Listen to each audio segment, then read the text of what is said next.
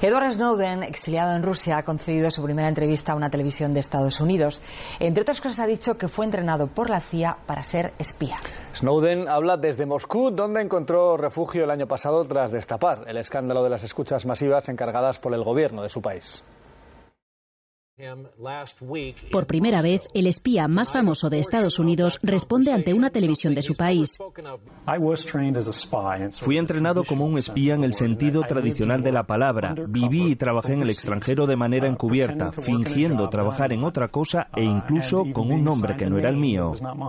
Desde su exilio en Rusia, denuncia que el gobierno de Estados Unidos quita importancia a su trabajo en la CIA para desacreditarlo. Soy un especialista tecnológico, un experto. He trabajado a todos los niveles, desde el más bajo al más alto. Así que cuando dicen que soy un administrador de sistemas de baja categoría, que no sé de lo que hablo, creo que es engañoso. Es solo el avance. La entrevista íntegra se emitirá esta noche, pero ya hay reacción de Washington.